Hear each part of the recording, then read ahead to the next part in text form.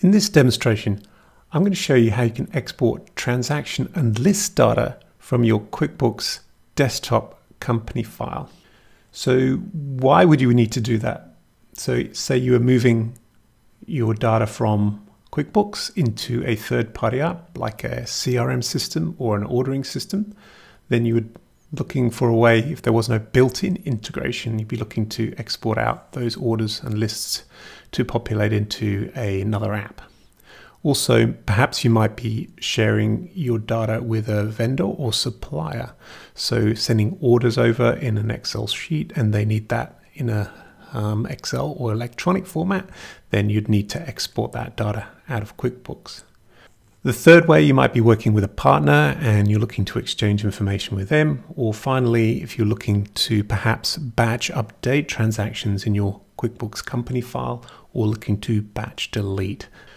So QuickBooks provides a number of built-in ways that you can export data out from QuickBooks, um, either through the IIF file um, or the reports. And I'll run through each of those different ways in the next section of this demonstration.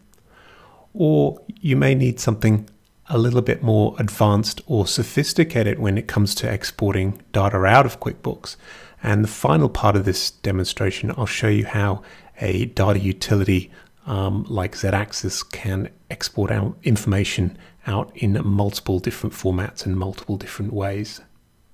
So let's get started with the demonstration and start off by showing you the three or four ways that QuickBooks can export transaction or list data out of its company file. So to use the IIF list export feature, we're going to select File, Utilities, Export, and Lists to IIF files. Now here you can select the type of list that you would like to export and then you can click OK. And QuickBooks will prompt you to where you'd like to save that IIF file to. So I'm going to do, give it a name, and I'm going to save it to my desktop and click Save.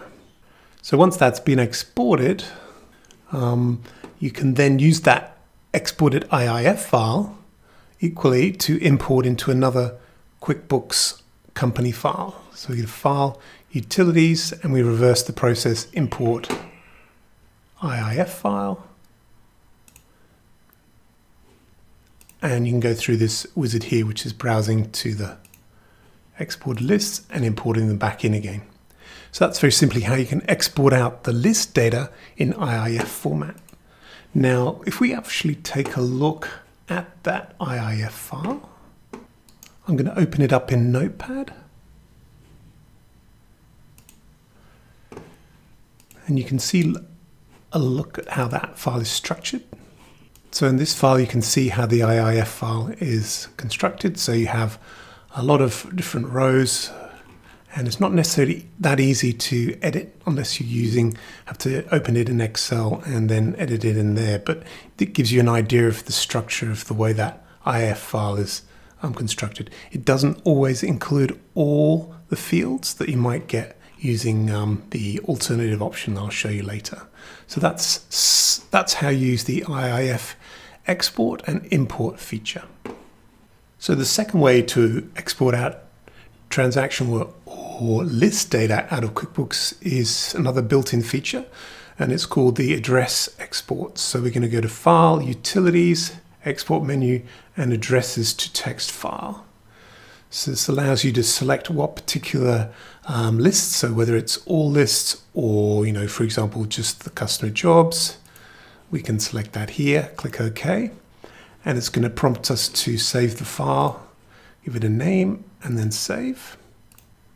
So that's exported just the addresses for the customer jobs out to a text file. And you can, again, you can use Excel to open that, but that gives you an idea of, of um, the structure of the data that can be exported from QuickBooks.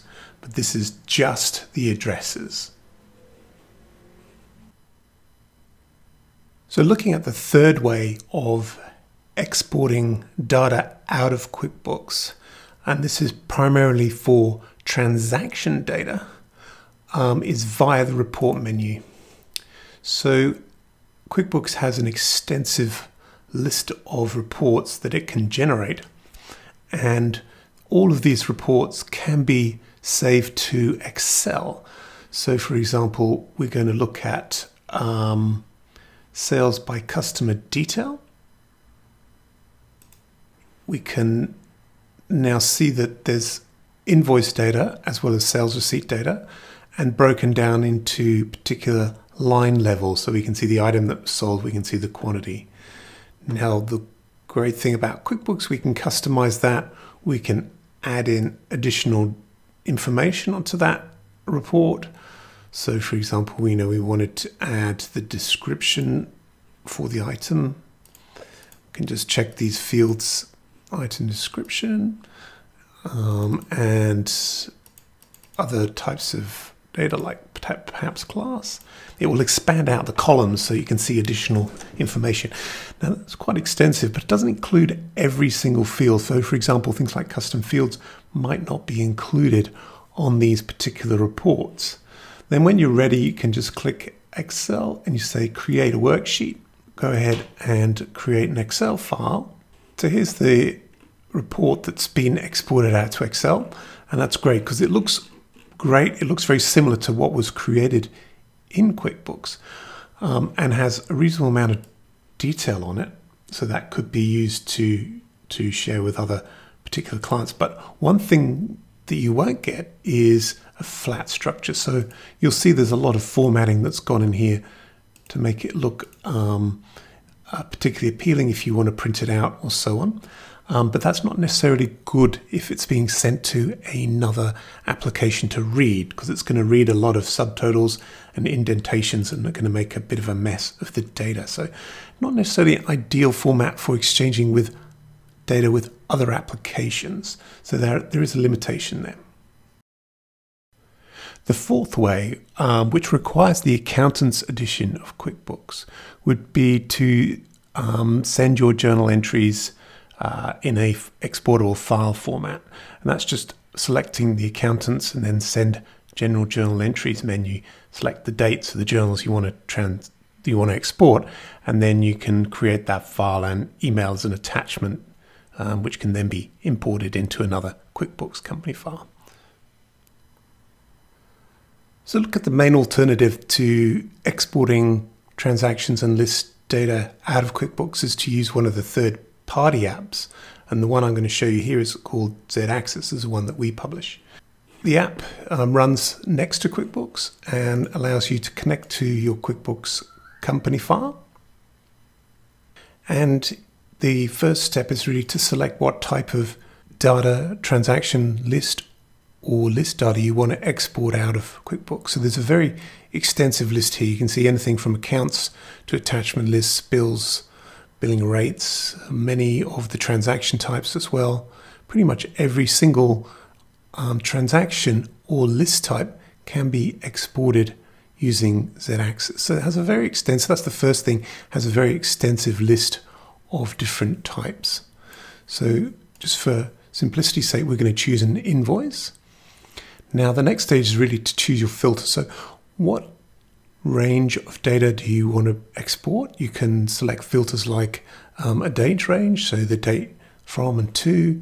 You can select a reference number range, and you can also select a name filter. So whether it be one particular customer or multiple types of customers, it's all possible using Axis. So we can select here what type of customers we want to include, and we can use a multiple combination of those as well. Once you've selected the filters that you want to use, you can then go ahead and um, also select whether the invoice has been paid or not paid. So there's an option there. And you can go ahead and then begin the process of getting those transactions from QuickBooks. So Axis will go off um, and retrieve the detail from QuickBooks that you want to export. At this stage, it will give you a preview of all the data that it's found and the results that it's found so you can go through and make sure the information that you need and you can see here it includes a very extensive range of different fields for all those transactions. So has the most extensive list or range of fields that's possible to export. You either have the ability to um, only exclude certain rows if you want to, and so on. It also allows you to select or save the filters for the export. So if you want to be using um, that export multiple times, you can sell, select the option to save that filter set and then rerun that the next time you come through. So once we've got that data, we also have the ability to manage the template. And what that means is it can um, say, you know, when I see this data, the default way is to export out all the columns, but you may not want all of them. So you have the option here to select only the columns that you want to be exported. Um, and again, this can be saved too. So you have that option. So a lot more powerful in terms of how the data is presented. So restrict just to the fields or columns that you need. And finally, you have the option to select the format that you would like that transaction or list data to be saved into. So we've got um, Excel 20, 2007 format, standard older Excel, text, XML, and so on the final step in the process to actually export the data out and it will prompt you to to say where you'd like to save that exported data save and finally you can see that um, particular data in Excel that has been exported um, with filtered columns and filtered rows if you need to. So Axis provides a alternative and a much more powerful alternative to the way that list and transaction data can be exported out.